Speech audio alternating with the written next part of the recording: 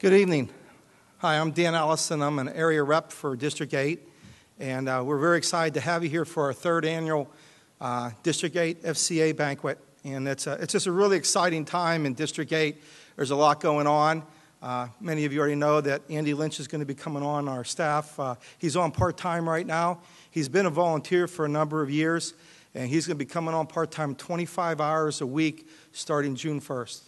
He just got back from uh, training in Kansas City this week, so we're excited to hear what went on with that, the board is. And uh, he's moving tomorrow. So they got a lot going on in his life, but we're very excited to have him coming on with FCA. And there's just a lot of neat things going on with that. Uh, just a lot.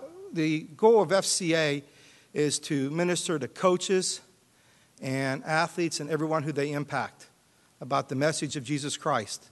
And uh, it's really exciting to, to see that happen in our area.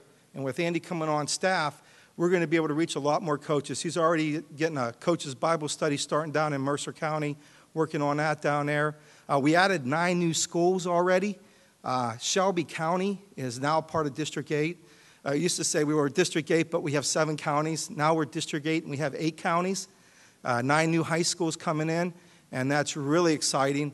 Uh, again, just the impact that we can have now is just, is just taking off. And uh, when I think of uh, impact that we can have, uh, people that have been honored, this is our third year doing this, and some of the people that have been honored have gone off and gone to college. And we happen to have one of them here tonight. And uh, Sarah Clum is down here at the front table in, in Orange. She's a, so, uh, excuse me, she's a yeah, sophomore at the University of Findlay. She's the president of their FCA. And uh, we're really excited about that. We also have another person that was recognized last year uh, Carly Salmons. She's going to be a sophomore next year up at Bowling Green, and she's going to be the president of FC at Bowling Green. So, students that we are impacting right now in our area are going off and impacting other areas. So, it's really neat to see the, the reach and the impact that District 8 is having. And uh, it's just, uh, as far as being someone that's involved with it, it's just, uh, it's really neat to see. Uh, with Andy coming on staff, we're already, he's talking about getting huddles up at Bluffton and one of our honorees, uh, Aaron Runk from Allen East, is helping him to get that going.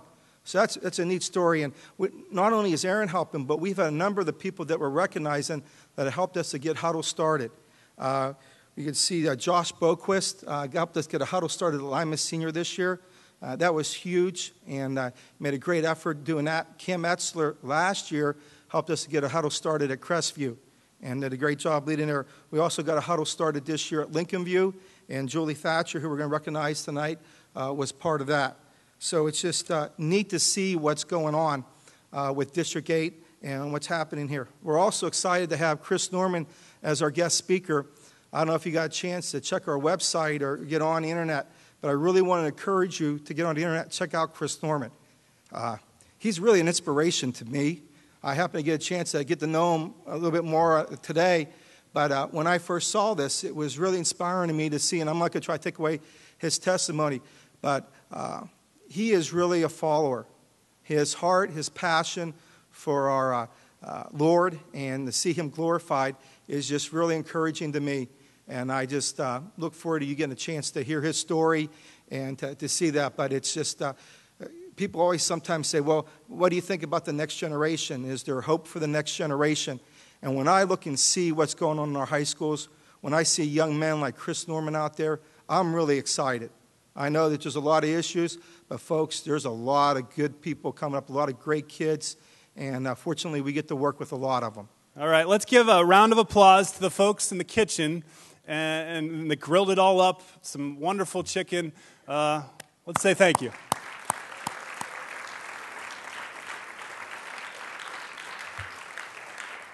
They do a great job each and every year. And I want to thank our board as well, which is ever growing.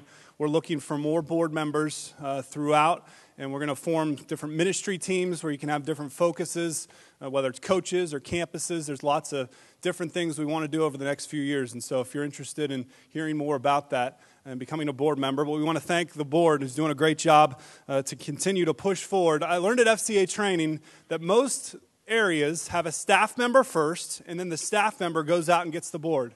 And so when it was my turn, to share, I said, Well, we've had a board for 20 years, and I've only had a part time staff guy the last two years. And they just looked at me and said, How does that happen? How does, how's there a board in the area? It's because there's been such a belief in FCA for those two decades from guys like Tom Gieskin, Mark Shine, Mark Miller, Dan Allison, Wayne Minning, Marty Klum, Dwight Allen, Dean Brown. And so we're just so thankful for these folks who are coming around FCA and are serving because that's what FCA is all about. It's about the volunteers, the ministers that are going out to minister, like the video said. We're very excited about that.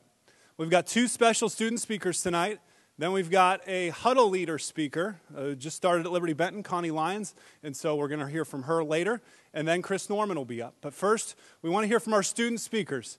And the first one done with his food was Matt Bahr from Kenton. Not, Cam's preparing still. Cam Etzler will be our second speaker, but Matt finished his food. And I remember Matt back in his freshman year. Garrett C. Wright was working for TV 44, and he went to Kenton to do the football playoff previews. And of course, Matty Mock was still around then, and I guess Garrett was looking for Matty to do the story, but Matty had gone home. And so Mike Mock was, was there in the, the locker room, perhaps, or the school, and Garrett said, Well, I need to do a story. You know, who's here? We'd like to do a faith story.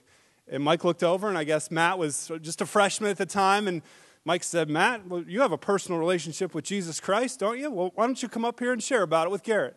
And so Matt Bahr was introduced to TV 44. And for the last three years, he's been doing a great job of leading the Kenton FCA huddle along with some of his senior leaders. We'll hear about more from them tonight. But I want to hear from Matt Bahr from Kenton. Give him a round of applause.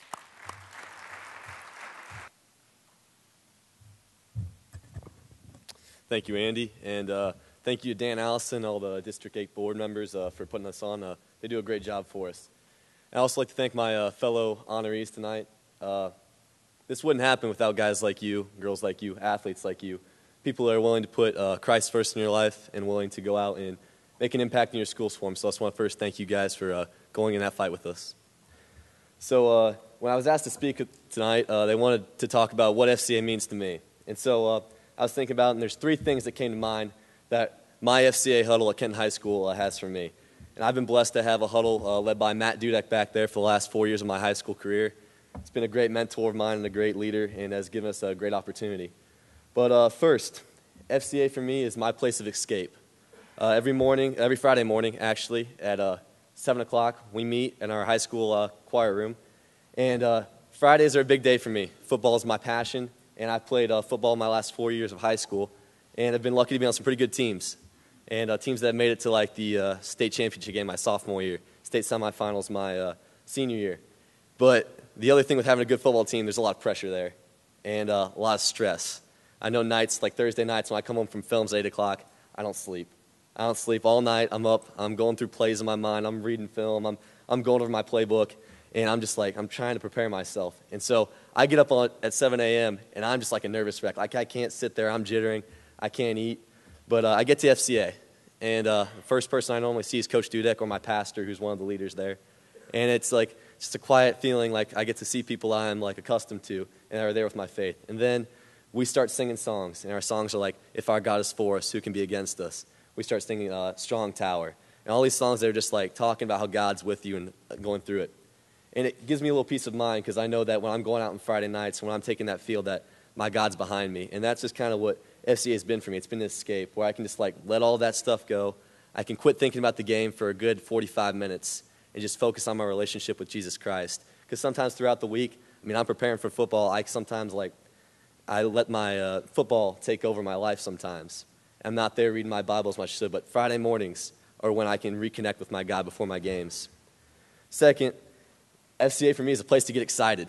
I love getting up at 7 a.m., and most people are like, 7 a.m., are you crazy? You guys going that early? Well, yeah, we're excited to get up that early. I'd be getting up to go lift otherwise, but we get to go be there and have like just a great time getting jacked for Christ because that's our time period where we get ready to go. Coach Dudek always talks about it's like our halftime. It's where we get to go back in, regroup for the week, and get ready to go for the next week. And as we're getting excited there, like we had some great speakers this year, and the great speakers throughout my four years, and I got to hear people like uh, just great seniors that I looked up to, like Bryce Fackler, Matty Mock, Coach Mock, who's been a role model of mine. We get to hear people like that, and it just gets you excited because you get to see people that you're going to battle with every day for your Lord and in your high school, and you just get to see how they're interacting, and it just gives you like I don't know, it just gets me revved up, and it gets everyone else revved up too. But the biggest thing I think for FCA in my group is a place of outreach. And FCA is a place where you bring, to people, you bring together people who normally aren't worshiping together. I mean, Kenton's a small town, but we still have tons of churches. I mean, I go to the Nazarene, there's the uh, First United Methodist, Christian Missionary Alliance, just to name a couple. And those kids are spread throughout, and we don't always get to worship together. But on Friday mornings, we come together as a collective group, and I get to worship with them, which is really cool. And the other thing is, it brings together kids who normally wouldn't come on a Sunday morning to church.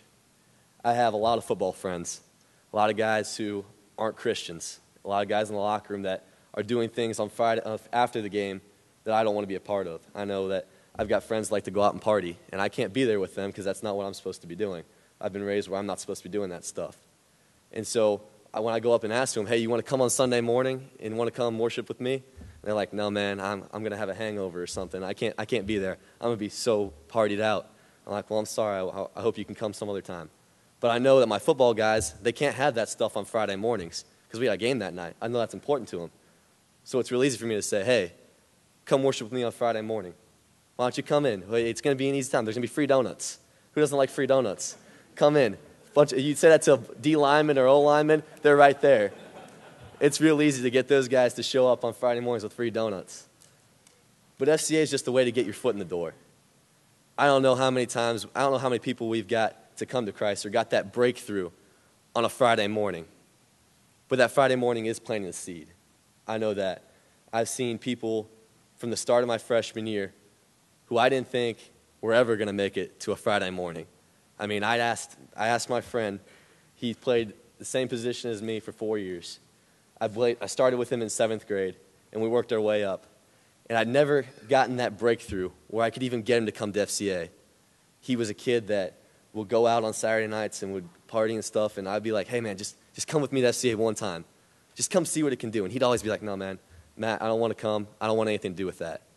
Well, just recently, in January, I was like, hey, it was after football was over. I'm like, hey, come with me one time.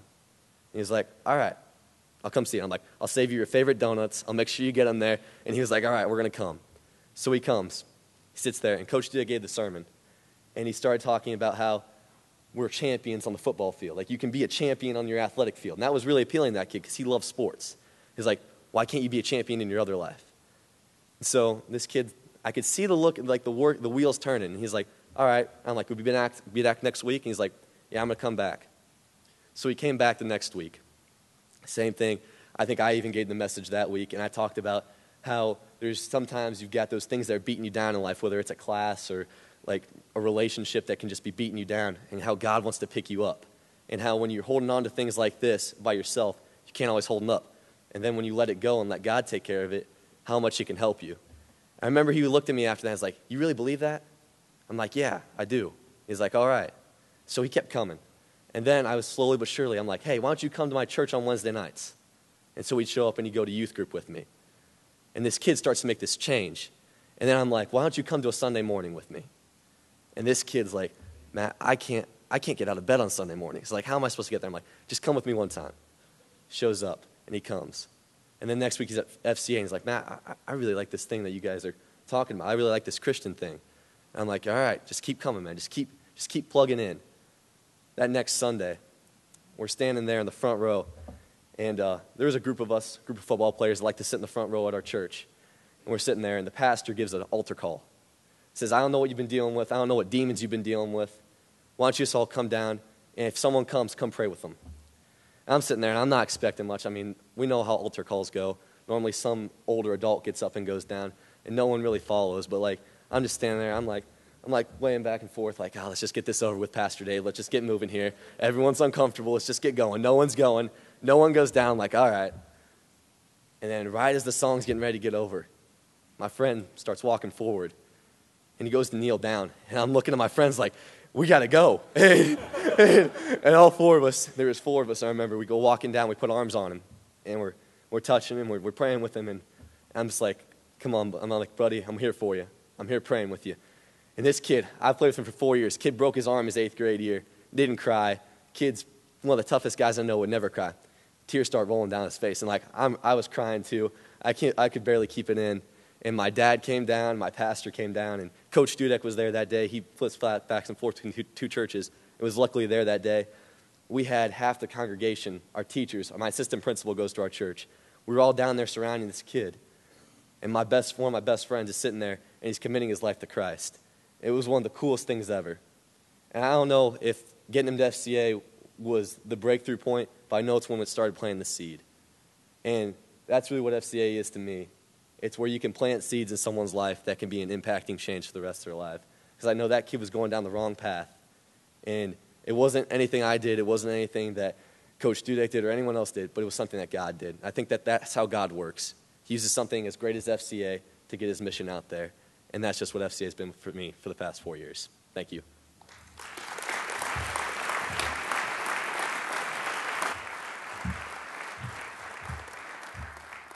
Wow, that's awesome. Thank you, Matt. That's what FCA is all about. Stories like that. Leaders like Matt reaching kids that need Jesus.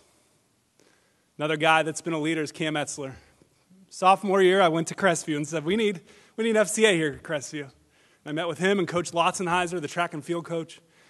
And Cam brought his notebook, I remember. I brought pizza, and we just kind of sat around a table. So, this is what it looks like to have an FCA. Over the past three years, Cam has just taken Crestview by storm. And now he realizes, we did an interview with him this past winter for our prep profile. And Cam said, I, realize now it's more about than just me being a basketball player, but I can use basketball for God. Cam Etzler, senior at Crestview, state champion of basketball. Come on up.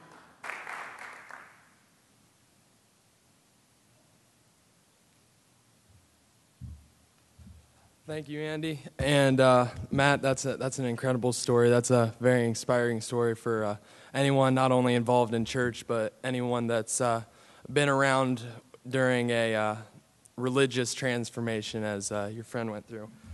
Um, as Andy stated, I, uh, I started FCA around my sophomore year. we didn't have an FCA when, we, when I was in Crestview, at Crestview.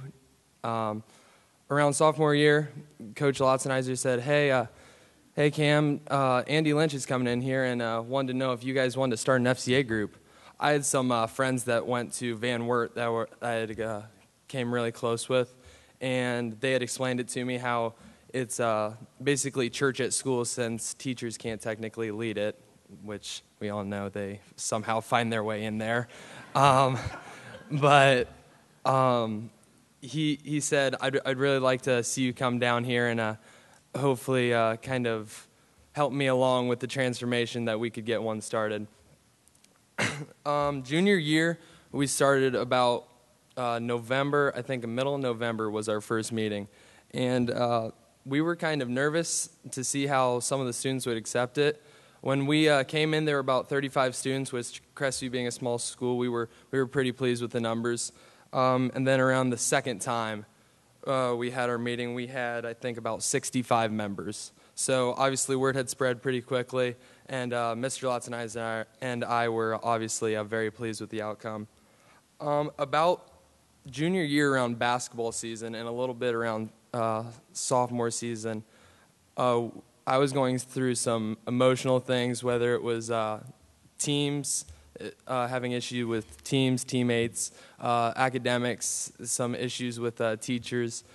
Uh, and I kind of hit a wall in my faith that really, really challenged me, not only uh, through FCA, but also uh, just getting it through to myself that I really had to trust the Lord. And I had a, I had a conversation with my uncle Ray Etzler, who is a longtime coach at Crestview and uh, I was assuming we were just going to have a, a, nice basketball conversation. That's usually how most of the conversations went. Uh, I came into his house after practice, and he uh, sl- started uh, talking about basketball, which is where I thought it would lead. But the conversation eventually turned, and the first question he asked me is, How's your prayer life?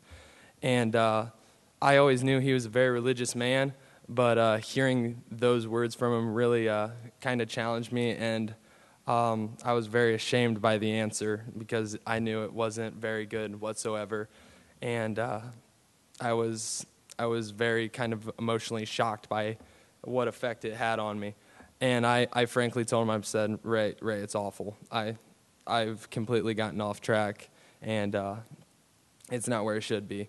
And one thing that I can remember like it was yesterday that he told me, he said, Cameron, no matter what you're in, whether it's in academics, whether it's in day to day life, whether it's basketball or baseball, he said you always have to put the Lord first in whatever you do. And that was one thing that stuck with me ever since. Um, two months later, after that happened, uh, I had a conversation with uh, my pastor, and it was a uh, April 7th, 2013. Uh, I was baptized at my church. Uh, I was never baptized as a child. That was a, a choice that uh, our family had made because we wanted to make sure I really knew the definition of being baptized and how it affected me, affected my image, and what the true purpose of it was. when it came to that, that's when I really firmed up my faith. And I remember uh, talking to Andy and talking to Coach Lotzenheiser about all the things that had eventually went into my decision in making the FCA. And I still remember uh, meeting Dan Allison at uh, McDonald's and Van Wert, going over all the things, getting that thick booklet of FCA things to do. Um, but the relationships is what I've really uh, became very, very uh, pleased with. Not only, not only pleased, but also just kind of very proud of how it is. Uh, we've had a lot of teachers and coaches speak throughout our time that we've had it for these last two years. And the relationships and kind of seeing the other side of what these coaches and teachers are uh, experiencing, it kind of forms a bond between you, not only a, a teacher student relationship, but also a fellow believer in Christ and how uh, they're going about their day to day life and how they, uh, they know how to deal with certain situations. Uh, one specific one that stands out to me is uh, our coach, Matt Perkins. He was uh, part of the Bluffton baseball team that had the, the baseball crash, uh, the bus crash when he was on the baseball team. And I still remember we were standing in the auditoria, and he just absolutely broke down in front of 35 high school kids. And he said, he said, I hadn't prayed in probably three years. And he, it just, all the emotion just flooded out. And it was good for us students to see that because we saw a different side of a coach, of a teacher, and for most of us, a friend. It, uh, it kind of translated that you never know when your life's going to change, sometimes for the better, sometimes for the worse, but you always have to have God on your side. And that's one thing FCA has really brought out in a lot of us is that you have to, you get to make those connections with people, and some of those connections can eventually lead on to bigger things. You don't know when someone's going to have their better day or they're going to have their worst day. Um, we were talking during a meeting, and a student came up to me after and said, "Hey, Cam, uh, you talked about you being baptized. I was wondering how I could how I could get into that." And that's probably one of the best things I've ever heard being related into FCA, and uh, it just really makes you uh, proud to be a Christian. Not only uh, you're seeing someone else succeed, but you know that the the greater things that are in store for what they have. Um, I'd like to thank my parents for uh, for the constant influence that they had on me, and uh, I'd like to thank all you guys for uh, the constant support you guys are putting in in your school and uh, the FCA board that has uh, started this great tradition in uh, District 8. Thank you.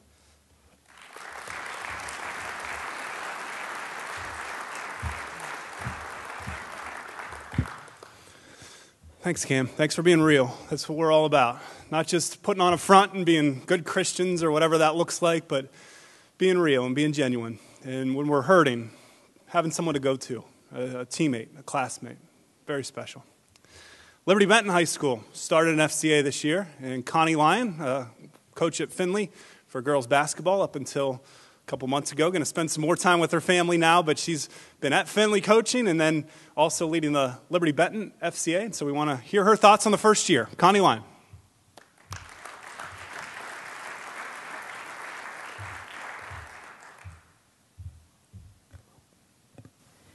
Well, Cam and Matt, I would love to have you come and talk to my kids at home. Where are you guys at? Where are they sitting? Weren't they wonderful? I, that just, I'm pumped up and I could, I could use word awesome, you rock. If my children were here, they would say, Mom, you need to use different terms. That was back in the day. Now I know why my players would always say, what does that mean, coach? And I'd have to explain from my era what that meant. So uh, we do thank you. I, am excited uh, just hearing the stories that you've shared. Uh, I, I did coach at Findlay High School, um, and the reason why I work with the Liberty Benton high school program and middle school program is because that's where my children go. So uh, I started and wanted to invest in uh, their school where my kids are, and hopefully, and I ask you to pray for Findlay High School. I would love to see something happen there. It's very difficult for me to stretch uh, as a mother and then as a coach, a varsity coach, to, to do it all. Um, and, and, uh, but we, we feel like God's going to raise some people at Findlay High School. So we ask you to pray for that school. I would love to see some great things happen for those students there. As far as Liberty Benton, I uh, just wanted to share with you uh, a little bit of focus on our middle school program, which is a little different. I know many of you have been involved in the high school program. Um, I do want to first take a step back. How many of you have ever received a text in the last month that has said, God's not dead? Anyone? Okay. If you have received a text that has said, God's not dead, someone has probably been in the movie theater and they're watching that movie, God's not dead. I encourage you to see that movie. And I'm going to take a clip from that movie, uh, and I will not uh, be a, no, there's no spoiler alert, but I will share with you there's a, a moment in that film where there's a pastor who's a local pastor in that area where the film, uh, where, where the stories are occurring. And then there's also an international pastor, a pastor who is visiting that, that pastor from overseas. And they are trying to take just a day trip to an amusement park to get away, just a, just a day trip. And they go to the pastor, local pastor's car. He turns the key and it doesn't start. And uh, they thought, okay, we'll get a rental car. Rental car appears, they bring it in. The gentleman just drove it there, parked it in the church parking lot. He sits down, starts, tries to start the engine, it doesn't turn over. They go to car number three. I think they end up with car number four after a couple days.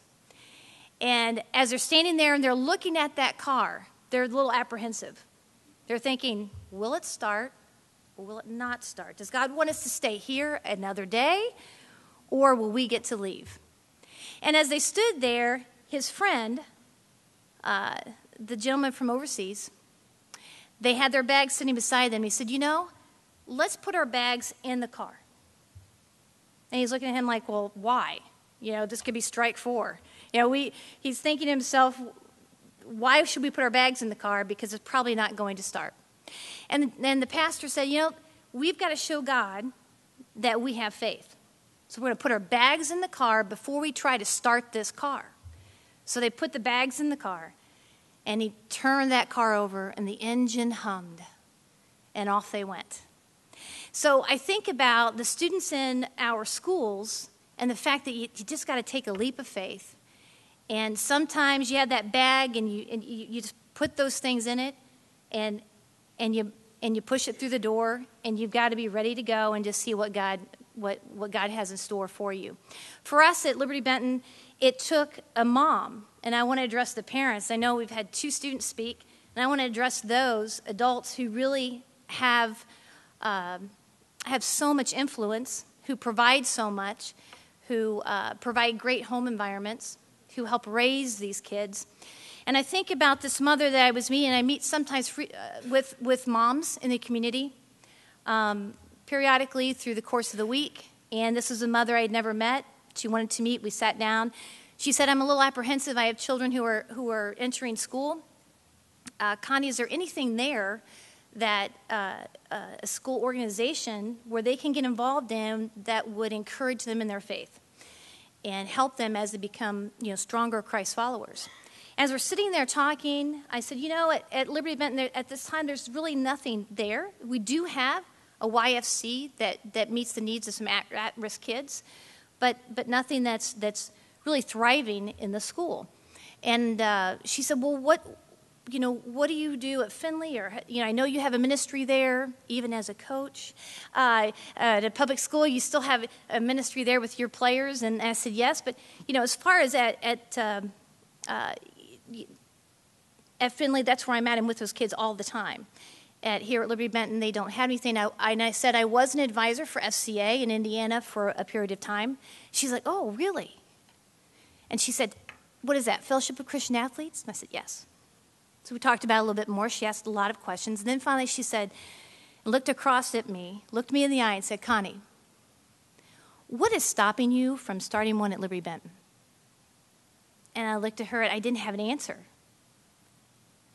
My first thought was, I'm busy. I've got too much on my plate. I'm a wife, I'm a mother of three kids, I'm a varsity coach trying to, at a big school, trying to run a K through 12 program. There's no way. She looked at me again and she said, Connie, what is stopping you from helping get this started? So I started to come up with a list for her. And every time I came up with something on my list, she had an answer. I'll take care of that. What else do you need? Well, I think we need, a large, we need to make sure we have parents, a big group of parents that will provide food, that we know we have the support base of the parents in the community. I think that's a very important start right there. Okay, where do you want to have that meeting? Your house or mine? Every time I came up with something, Julie came back with an answer.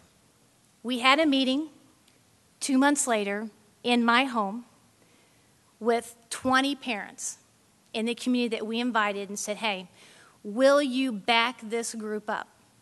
Because we were going to start it in the middle school. So we knew that parents were very instrumental in being a part of a middle school group because they don't drive. And we needed that parent support group. So we got their commitment, and it was a meeting asking for commitment, asking for them to play roles in, in getting this organization started and initiated at the middle school. So, with that support base, we went ahead and started our huddle meetings, and we averaged 40 to 50 middle school kids on Friday mornings. We have a huge Christmas bash uh, for an outreach, and then we had our first spring event two years ago where 80 children came, or 80 kids came, filled the football field, and we had the messiest games on the face of the earth. With flour, shaving cream, mud, we worship God, and we had the opportunity to see some kids come to know Christ that day. So, what a great thing because a parent looked me in the eye and called me out and said, We are not busy enough to do these things for these kids. So I encourage you. I know the high school movement is a great place to start. But if you're a high school movement and you have the FCA there, why not get something going in your middle school? Because those kids are facing things that, that at an earlier age, and they need to have a solid foundation in their faith that um, you can have a big impact on them in their faith now. We have our high school students. We started our middle school two years ago. We started our high school organization just this year. We have our high school uh, students come over in the morning to mentor our middle school students. So we've tried to bridge that gap and create um, a full um, school system FCA. So I challenge you to do that. If you need any um, uh, any help with that, if you need us to just share with you ideas and ways that, that we got that going in the middle school, I would be happy uh, to talk with you. We're already talking with a school nearby about that right now, but I'd be happy to do that. Since I resigned from my coaching position, I guess I have a lot of free time. So, but I thank you for this opportunity, and I do encourage you and challenge you. I listen to Cam and Matt, and I'm pumped. I'm ready to go out. Let's start five more. I mean, we, we've, uh, we've got some, uh, you know, some great students here who are going to do some great things. God's going to work through you in some wonderful ways. But we do encourage you, think about your middle school. Think about what you can do to get those younger students involved in FCA. Thank you.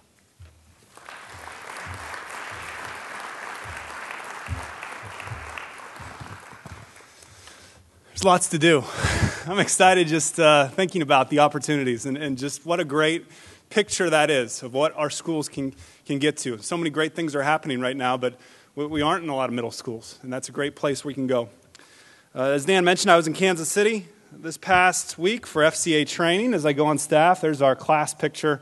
70 people from across the country came to Kansas City for the week. And I was sitting next to, to Big Mike. I think you pronounce his last name Mackin or Macon. Uh, he's here on the side. He's probably 6'5, 300 plus pounds. Uh, played for the Dallas Cowboys in the 80s, or at least was on the, the, the, roster, had some injury problems, was on, with the Jets as well.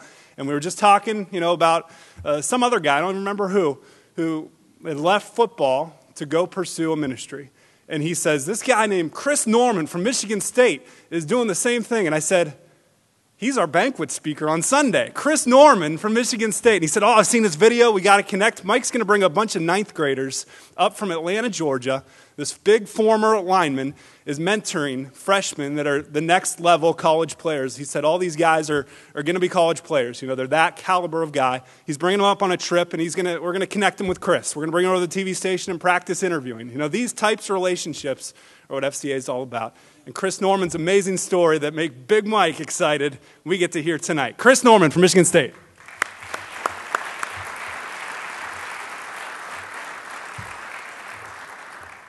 Uh, thank you. I really, I really appreciate that. But I have to admit that I am uh, uh, somewhat intimidated because I heard that I am virtually surrounded by Ohio State fans.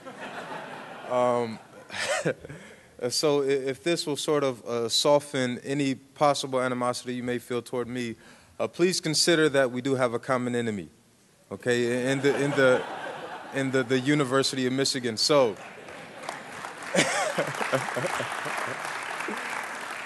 Uh, uh, thank you. But, but with that in mind and with, and with that being said, I, I want to uh, briefly say that my heart is very, very warm about what's happening in this room right now.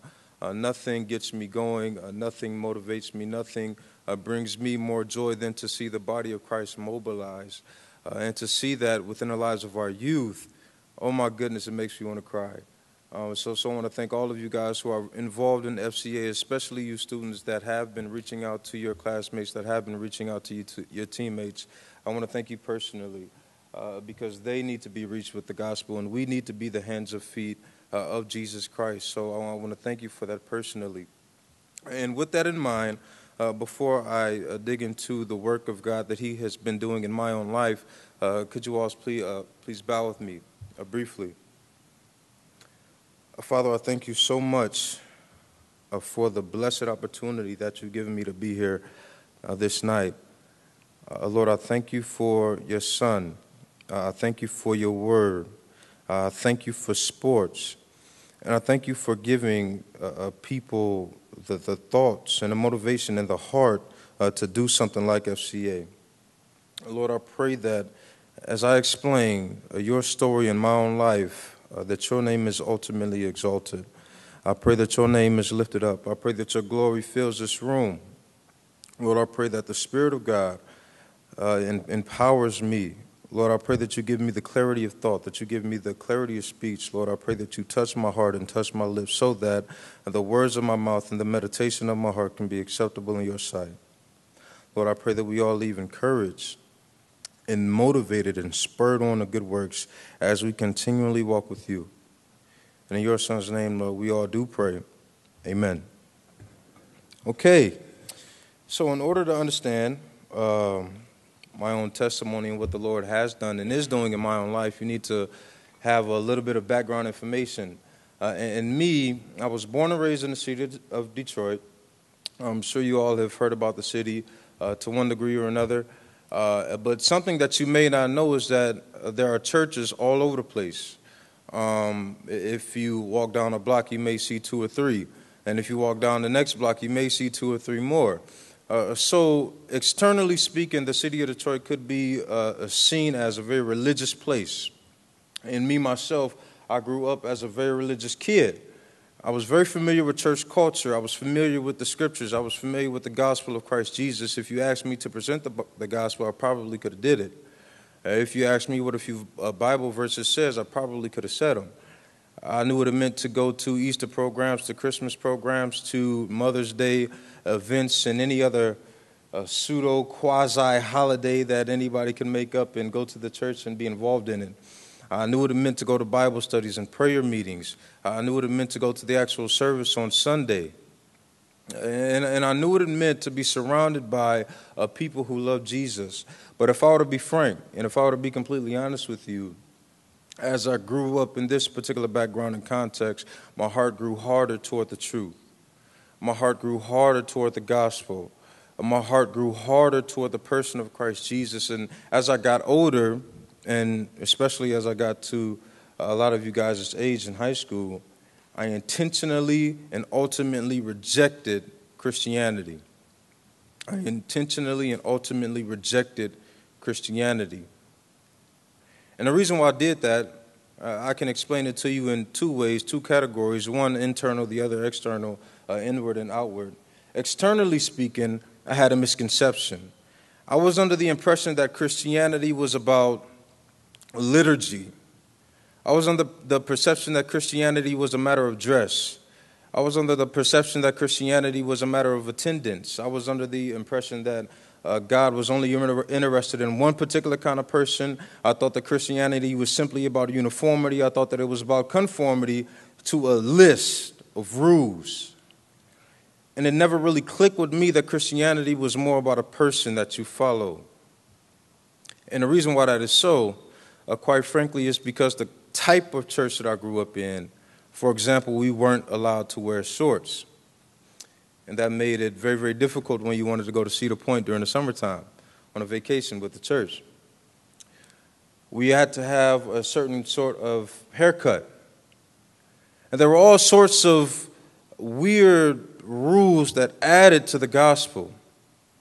And in doing so, it stripped it of its power.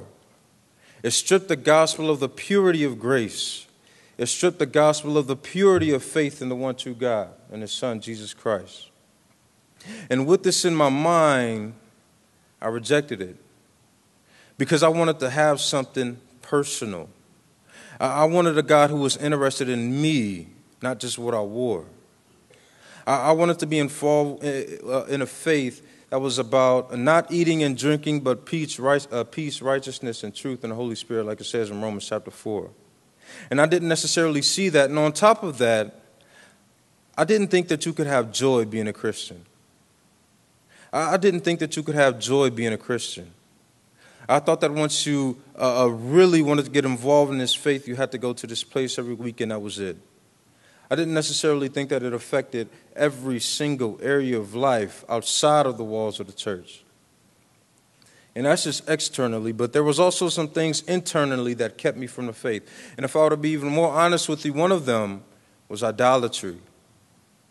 Uh, let's face it, uh, all of us were given a capacity to worship. We were literally made to worship. We were made to worship and, and know the one true God, but because of sin, we rebel against that. And I did. I broke the first commandment. You shall have no other gods uh, other than me. And I worshiped myself. I exchanged the truth of God for a lie and served the creature as opposed to the creator. I looked at myself as my own God. I followed what I wanted to do in my own life, and I rejected the one true living God who made everything the heavens, the earth, the seas, the mountains, the rams, the goats, Cheerios, and frosted flakes. I rejected that God and I worshiped me. And I didn't just worship myself, but also worship my sport. Because from a very early age, I started playing football when I was nine years old. I realized that if you were good in anything, really, but especially if you were good in sports, you could easily get a lot of attention. You could easily get a, a lot of people patting you on your back. You can easily win acceptance. And, and I fed into that.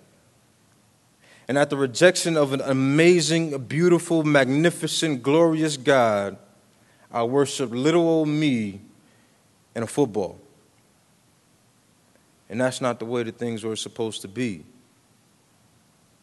But luckily, in 2010, my sophomore year, playing at the University of Michigan State, we played against another very, very good university in Alabama. And if you're any kind of college football fan, you know that that is a very, a very good football team, and I think they're cheating in some way, shape, or form.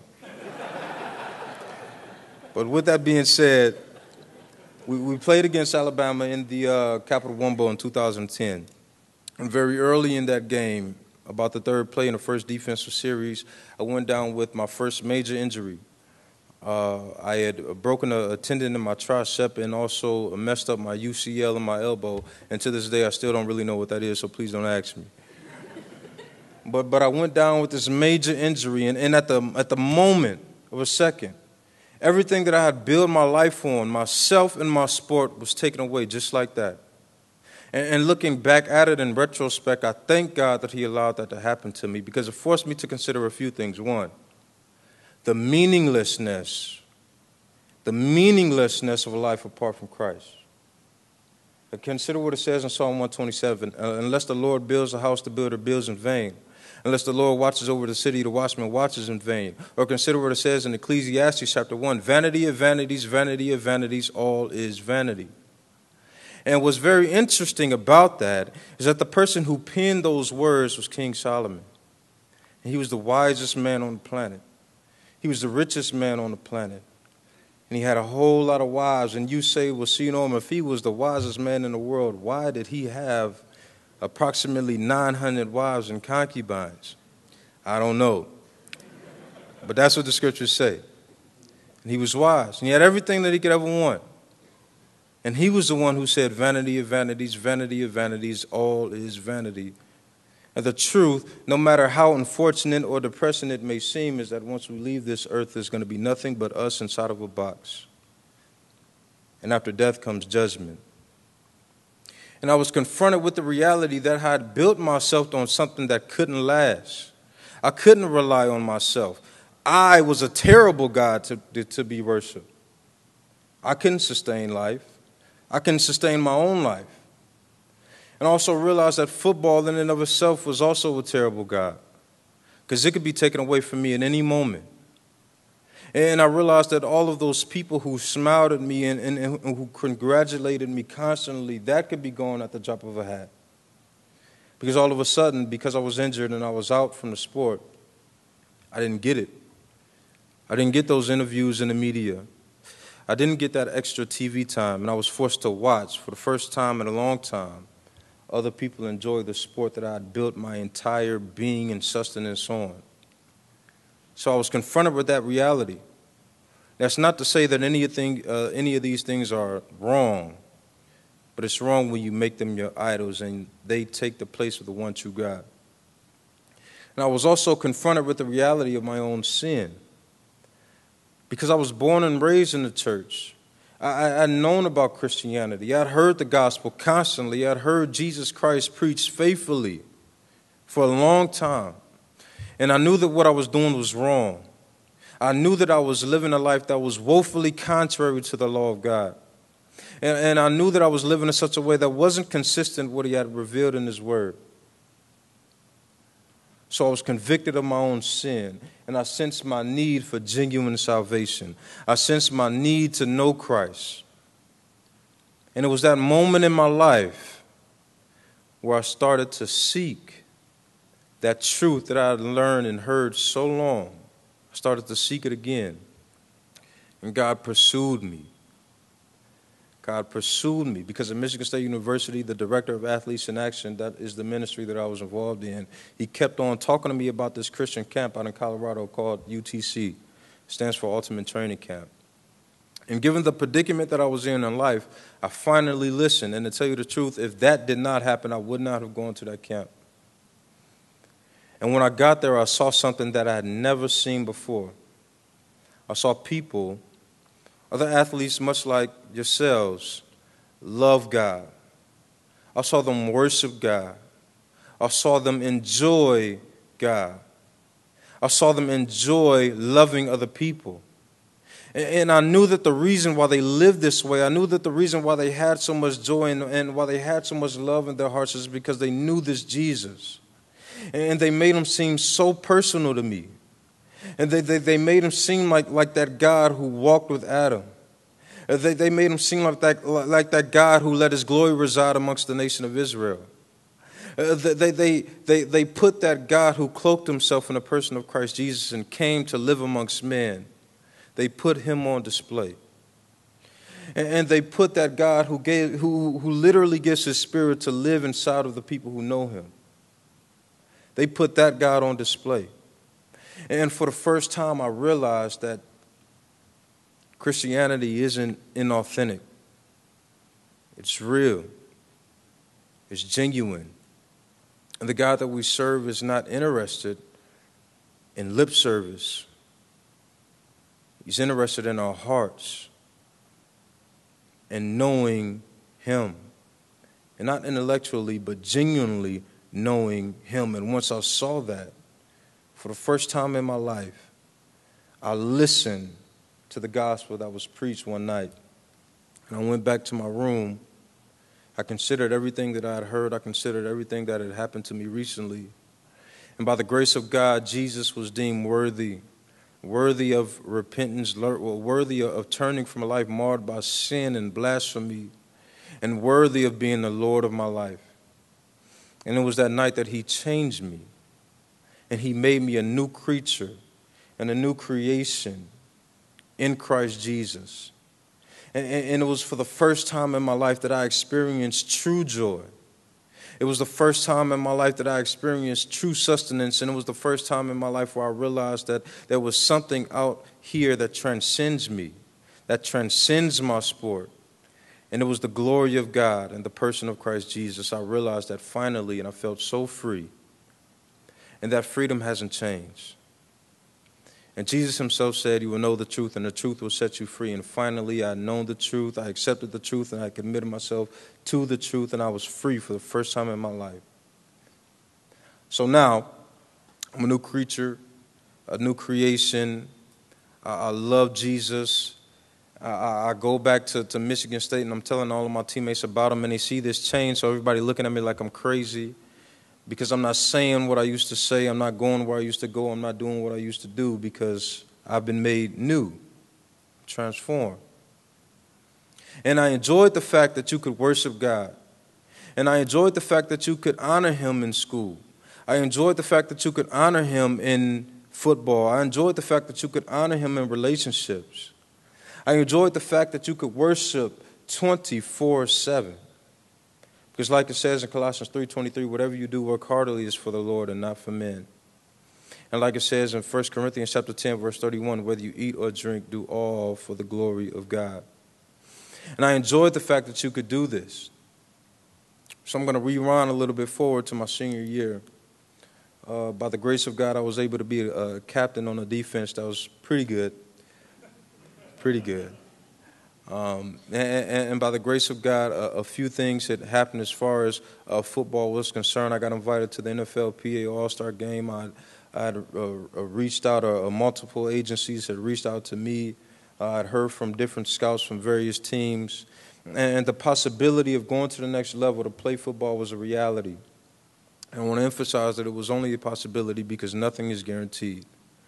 I had a, a true a possibility for continuing my play in my sport.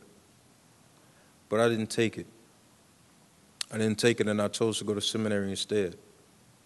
And I understand when I say that, a lot of people look at me like I'm crazy. I'm completely used to it. It's okay. You're not going to offend me. But hear me for one second because there are a few reasons that I'll let you know tonight why I did what I did. One of them was the desire. It says in 1 Timothy chapter 3 verse 1 that if anyone desires the task of an overseer, he desires a noble task. And when it comes to the prospect of preaching and teaching the word of God, I can't divorce myself from it. In Jeremiah chapter 20, verse 9, it talks about how the prophet, how the, how the word of God to the prophet is like fire in his bones and he has to get it out. And from one day, last year in January, I literally have not stopped thinking about doing ministry back in the city of Detroit because that's ultimately what I want to do. I have not stopped thinking about teaching and preaching the Word of God, and I literally can't escape it. No matter what the situation is, I think John Newton says this a lot better than I can, uh, even though it's uh, cloaked in 18th century lingo, uh, but please bear with me. If you don't know who John Newton is, he's the author of Amazing Grace, a beautiful song, but this is what he said a warm and earnest desire to be employed in this service. I apprehend the man who was once moved by the Spirit of God to this work will prefer it, if attainable, to thousands of gold and silver, so that, though he is at times intimidated by a sense of its importance and difficulty compared with his own great insufficiency, dot, dot, dot, yet he cannot give it up. What that basically means is this like I said earlier, nothing separates me from the desire to do this type of ministry. Well, that's where it started, with the prompting of a heart. Next, the scriptures. What I mean by that is this if you open up the pages of the Word of God, and, and it's revealed on the pages of Holy Writ that multiple people throughout the course of redemptive history, lives were completely changed. The course of their life was completely changed. I'll give you just one example the 12 disciples, not all 12, but just a few of them. One, they were going about their own lives. Jesus walked past the boat and he said, Follow me. And once that happened, they dropped everything, and that's exactly what they did. And next thing you know, the entire world was changed. And, and, and, not just about that, but, but consider this I'm in seminary right now, and I'm surrounded by people who were former engineers, doctors, lawyers. As a matter of fact, somebody else is one of my classmates who used to play for the University of Michigan and went on to play in the NFL for the Denver Broncos, but he made a similar decision like I did. And it's not to say that everybody has to do that, but that is, that is to say that there are those cases where someone may be called to a particular kind of ministry, and me, I have the obligation to respond to that. So it started with a desire, then it moved to the Word of God. Third, the church. And by the church, I don't mean these walls, I don't mean a building, I mean the actual people of God. I talked to the church. I asked questions to the church. And it was in the church, and it was by the church that my gifting had been confirmed. In Proverbs, it tells us that in the presence of many counselors, there was victory. So, me trying to exercise wisdom, I asked my brothers and sisters in Christ, What do you think about X, Y, and Z? And they said, I think that you have been gifted in such a way that makes this possible.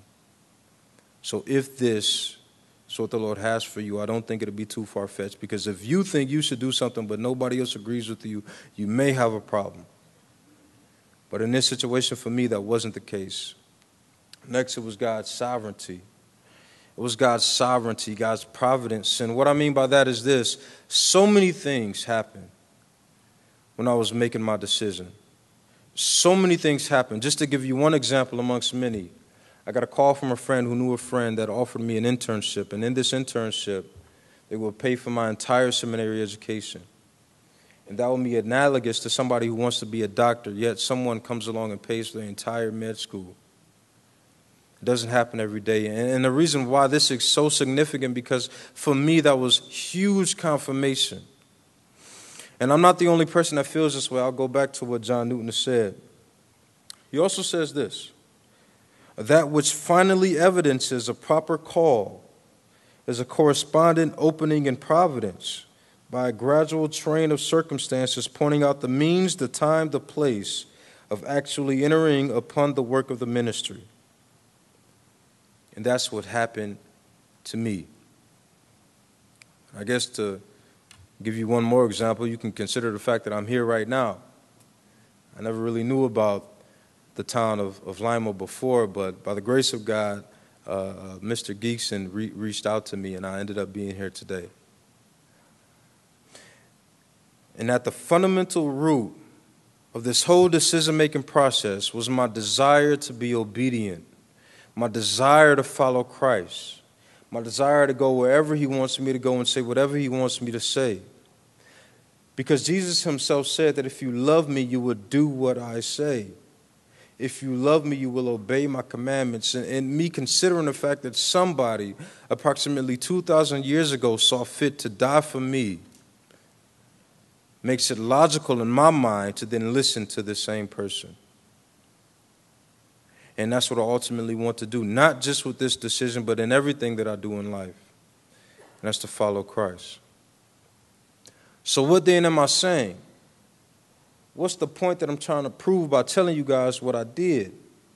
Well, my consistent prayer, my consistent prayer from the very beginning was that people would see the value of Christ, was that people would see the value of Christ. I'm not saying I think all of you should do the same thing. I'm not saying that football is bad. I'm not saying that in, going to the NFL is a bad idea. And I'm, I'm not saying any of those things in any way, shape, or form. So please don't hear that. But please hear that knowing Christ is worth more than anything that this world could offer. Consider what it says in Philippians chapter 3 verse 8, indeed I count everything as a loss for the surpassing worth of knowing Christ Jesus my Lord for his sake I suffer the loss of all things and count them as rubbish in order that I may gain Christ that I may know him and the power of his resurrection and share in his sufferings becoming like him in his death so that is to say, knowing Christ, following Christ, intimacy with Christ is worth more than even life itself. That's my biggest encouragement to everybody, especially to the youth. I want us all to see the beauty of Christ. I want us all to see that the mandate that's on our lives to follow Him. I'm not a perfect example, neither am I overly spiritual. I'm just a sinner saved by grace, and I want to respond to that grace that was given to me. And this was the best way that I knew how. And looking back on it, I wouldn't change anything that I've done. So that's my prayer for you is that you know Christ intimately and realize that He's better than everything. And for those of you who may not know Christ, because I don't know the spiritual condition of everybody sitting in this room. I want you to know and understand that too. That you don't have to be like me and wait till you're a student in college. Or you don't have to be like me when I was you guys' age and I already had it in my own mind that I was going to wait till I was 60 years old to become a Christian. Because by then I could live my own life, my own way, and I wouldn't have anything else better to do. That's not the way to go. He's worth more than that. So, my exhortation to you then would be to lay down your life and commit yourself to the truth like I did. In Romans chapter 10, verse 9, it says that if we confess our mouth that Jesus is Lord and believe in our heart that God raised him from the dead, we will be saved. But understand that when you confess with your mouth that Jesus is Lord, you're saying, This is the end of me and it's the beginning of you. I'm no longer my own. You're in control of my life. And when you believe in your heart that God raised him from the dead, you're just confirming the fact that Jesus is, in fact, the way, the truth, and the life. That he rose from the grave, that he lives again, and that through him, and only through him, salvation is possible. And if you haven't done that, I want to implore you to do that tonight. But for everybody else, just please see that Jesus is worth it. He's so worth it. So, with all of that being said, would you please bow with me again? Father, I thank you once again for your son. I thank you for seeing uh, that you saw fit to come here and send yourself to die on the cross to set us free of the very people who rejected you because, Lord, it was our sin that put you up on that tree.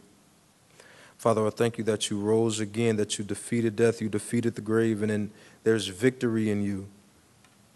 Lord, I pray that you give us the grace, give all of us the grace to understand how amazing you are, how beautiful you are, how worthy you are.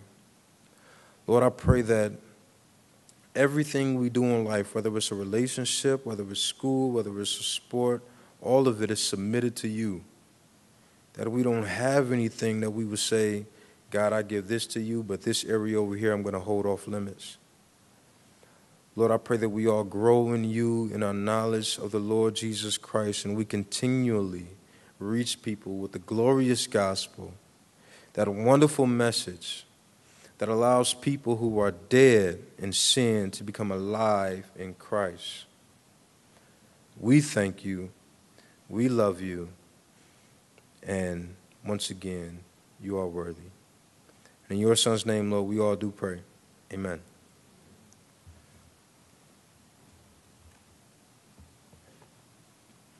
I think that's it.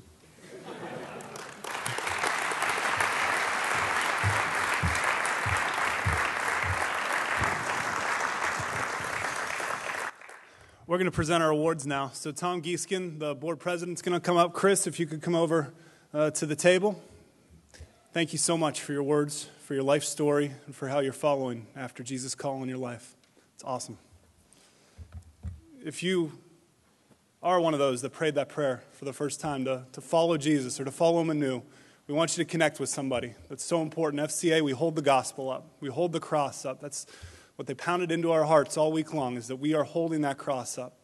And so we want to journey with you on that trip, wherever you're at in your spiritual journey. I encourage you to, to talk to a coach at your table, talk to myself, Dan Allison, someone on the board, and we want to journey with you. We're going to recognize some great, great student leaders this year. It's so encouraging to see what FCA is doing all throughout the area. And so when we call your name, come on up. Your award will be presented, and then we'll have everybody stay standing up here for a group picture afterwards. Uh, when the night is done, you can come up and, and, get pictures individually with Chris if you want, or, or whoever. Uh, Coach Damon Olm, he, would like to have some pictures taken with him too. I want my picture with you, by the way. So, anybody you want, you know, we've got cameras. First up from Ada High School, Caleb Garman. Come on up, Caleb. Wearing purple appropriately. Tim and Vicky Garman are his parents. Congratulations on doing great things at Ada as the huddle president. From Allen East High School, Aaron Runk. His parents are Beth and David Runk. Aaron, there he is in the Allen East blue. Let's see if we can continue that tradition with the school color being worn. He is the FCA president and helped start FCA's chapter up Bluffton, which we're excited about this year.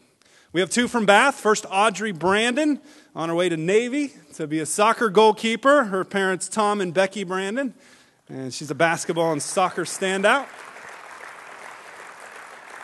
Also from Bath, Brian Jordan, who I called Byron so many times in the soccer broadcast. I apologize. His parents, Rob and Sherry Jordan. The R and the Y just get all confused, but great job.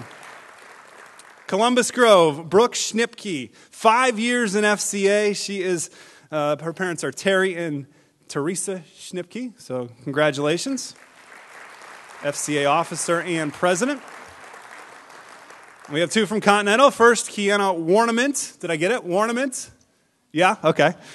We try. Her parents, Chris and Tara leads prayer after soccer games, in charge of getting a student to pray before and after huddle meetings.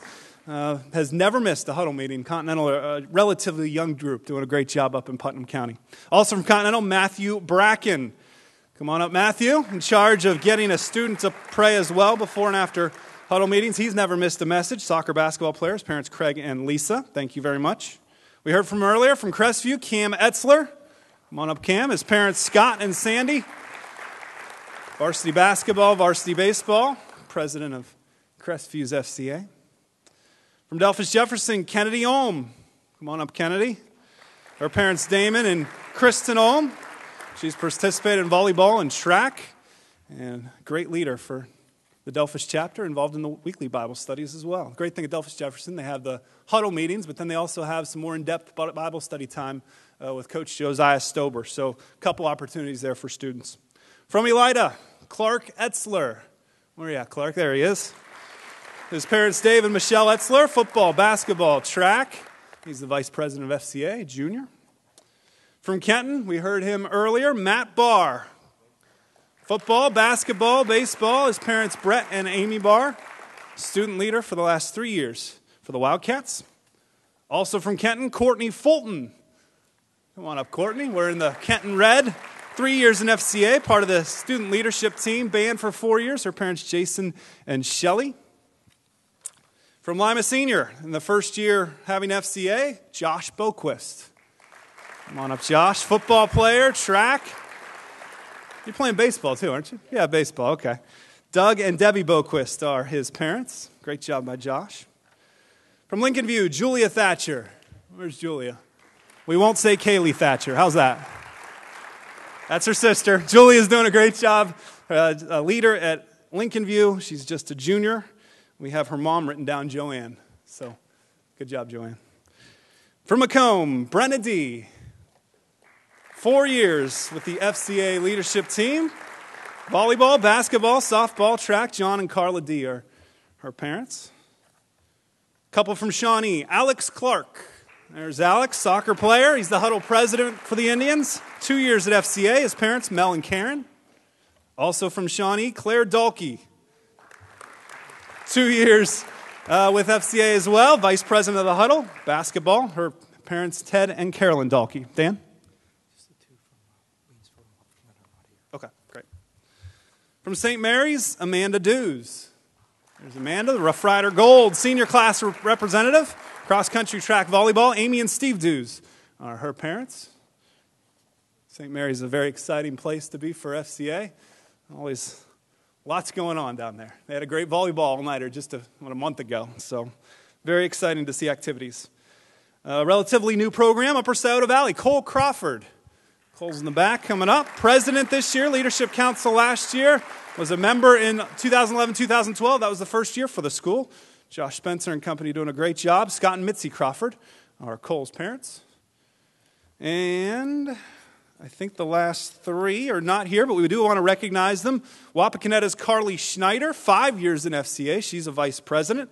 And then Waynesfield Goshen had their prom last night and their FFA meeting tonight, so they could not attend. But Mindy Brookhart and Jenna Whitaker are the representatives for Waynesfield. So thank you very much. Let's give one round of applause to all these great leaders in our schools.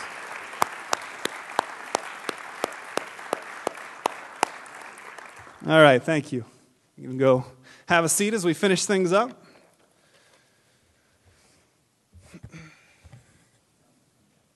We'll, yeah, yeah, we'll do pictures at the end then. I just want to share quickly, because one of the things we learned at FCA training was to be brief. so I have a 30 minute show, you know, an hour 15 on Fridays. We got some time, but not tonight. I just want to share quickly uh, just a brief snippet of our last year. A year and a half ago, God told my wife and I as we went on a mission trip to Mexico to feed my sheep. Feed my sheep. What does that mean? I don't know. It means something for each of us differently, maybe. Last summer, God was saying, What if I pull you out of TV? I said, God, that's all I know. what else can I do besides TV? He said, What if I pull you out of TV? Is that okay? Will you follow me? Just like Chris was talking about. Will you follow me? Last November, after Thanksgiving, I was ready to go be a pastor. yeah, me. At a church in Galion. I'd heard of Galion. We passed it to cover track meets. And we visited the church, and they had me there. I was going to come speak a, a guest sermon and be their senior minister. This guy that's never been to Bible college and didn't go to class at Syracuse. I'm going to be your preacher and I was ready, and they were ready. And, and we were, God told us to put the house up for sale, and so we did. He told us to sell our car, and so we did, one of our two cars. Met with my boss, Kevin, at the station, the general manager, and told him what we were doing end of November. And he, he said, okay, you know, we want whatever God wants. Week before Christmas, Dan Allison, trying to come on staff with FCA, trying to raise full time support. You know, we have to raise our own support. And, and Dan says, I can't keep doing both, guys. You know, I either, either be full time with FCA or, or just stay teaching at Wapakoneta. I can't do both. Dan was thinking about me before I even say anything. God was thinking about me before I even realized it. So that week before Christmas, I prayed. My wife prayed. You know, I was about ready to go do a sermon to this church of 160 people, and they were going to, unless I swear, they were probably going to like me, you know? I don't know. Maybe they wouldn't have. Maybe it wouldn't have worked. But that's the intention that we got from them. They, they were going to have a pizza and chicken wing dinner the night before. Does that say love or what, you know? And so I was ready. I was ready to go. But that week, God said, Well, what if I kept you here? What if you did FCA and the TV station? You built up, your team has built up such a, a following at WOSN. People watch you for sports and they hear about God along the way. What if you could do that? So I prayed. And that Friday morning, it was the 20th of December, I went to a park before Lee and the kids get up. And I prayed, and this was my day where I had to decide. You know, God, I, I don't want to leave these people at this church. I don't want to lead them on. I don't want to get there and then say, oh, no, I'm not going to do it. You know, I wanted to be fair to them before Christmas. And so Leah was asleep. I snuck out. I don't remember if you knew that I was going or not. Nope, she didn't. I went to a park and just prayed. And the first thing God said to me, we learned about leadings this week at FCA. And I, have got so much I want to share, but I can't. So we learned about leadings. And God was leading me that morning. And He said, Don't worry about Galion. And I said, But God, who's going to take care of those people? We have a connection with them. We can help them. They're so hungry to go and serve and lead people to Jesus. What about them? He said, Don't worry about them. I got them taken care of. So I had to let go of Galion. We just heard a month ago or so they hired a, a preacher, and they're, they're going. God's taking care of them. So my next thought was, okay, God, well, well then FCA, is that it? And just as I was thinking that, Leah sent me a text. The day was the 20th. she had read December 21st. It says, My plan for your life is unfolding before you. Sometimes the road you are traveling seems blocked, or it opens up so painfully slow you must hold yourself back. Then, when the time is right, the way before you suddenly clears. Through no effort of your own, what you have longed for and worked for, I present to you freely as a pure gift. You feel awed by the ease with which I operate in this world, and you glimpse my power and glory. God was saying, This is your area. These are your coaches. These are your athletes. These are your fans. These are your administrators. These are your parents. I have you here. It's yours. Now go serve. That's what God's called us to do. He's called us to serve you. My wife and I were talking. She has a great ministry with Kids at Heart International. They send teams of people all over the world to evangelize kids. And we were talking, and I said, The great thing about FCA is if I'm doing my job as an area rep or area director, I'm not doing, I'm not in the schools as much as I would like to be. You guys are. I'm not speaking at all the huddles. You guys are. They are all about empowering the coaches, empowering the students to show their classmates, their students, Jesus Christ. And I just get to coordinate all that. We've got so much to do. I am so excited to be in schools, to get things started, to grow the groups that we have, and to come alongside you in any way we can. There's coaches' Bible studies we're going to be starting. If you're a coach, I want to talk to you afterwards about how we can make that happen in your area. We're not all going to be in Lima. You know, we'll go west, we'll go east, we'll go north, we'll go south, we'll make it work.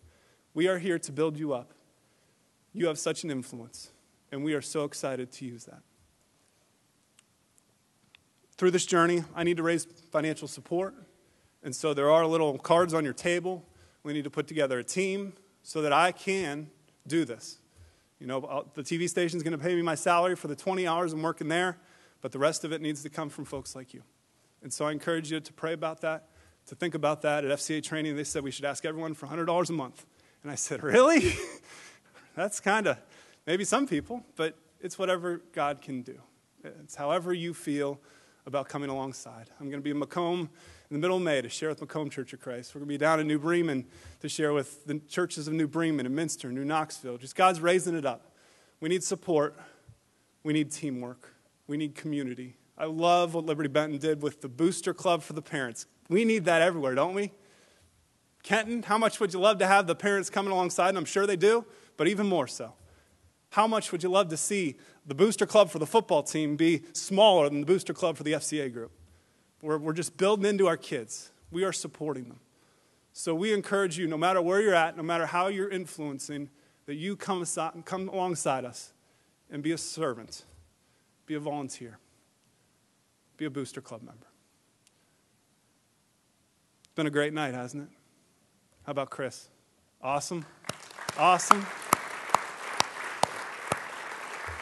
Our student speakers, Matt and Cam, they're seniors. Guys, do you have one more year of eligibility? Can you hang around maybe? We're going to miss you guys, but there's, there's a next generation of leaders. We have juniors in the crowd. They're next.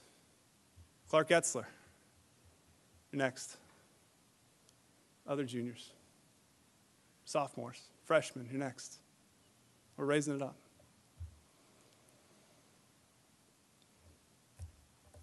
One of our board members, Wayne Menning, is going to close us in prayer. Then students and ath- or athletes, come on up and, and get your pictures taken. And we'll be hanging around here. And just if we need to pray for, for you, if there's concerns on your heart, we want to do that, just talk, you know, we're here for you. So, Wayne, come on up and close us out.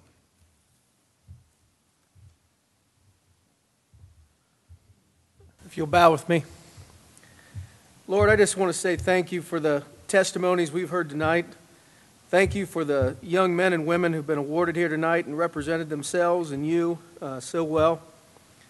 We just uh, also want to say thank you to, to Chris and his amazing testimony. We just pray, Lord, just a strong blessing in, in, in what he has going forward. And Lord, I do lift up uh, and say thank you for all the, the family members that are here tonight supporting these young men and women, whether they be high school, middle school, uh, college. We just thank you, Lord, that they're there in, in helping to set the bar for, for their children and, and uh, mentoring. We thank you, Lord, for the huddle leaders. just uh, thank you, Lord, that uh, you brought those people uh, out, and, and uh, as Connie shared, that just uh, step out in faith that, that it can happen. We just ask, Lord, that you continue to bless FCA. Thank you for Dan and Andy and what they've done in leading this district. We just pray a blessing on them as they uh, continue to go forward uh, with the support of the board and the support of the families and the huddle leaders. And we just ask, Lord, that you use FCA District 8, just use it to change lives. And Lord, we want people to know and to seek the value of, of you, as Chris had said. We just pray, Lord, that you continue to bless uh, all the different uh, people that are here tonight, and those that couldn't be here, and those that are uh, involved in the school. And, and Lord, you know what you want to do with this program. We just ask, Lord, that you uh, bring it to light for us to do. In Jesus' name, amen.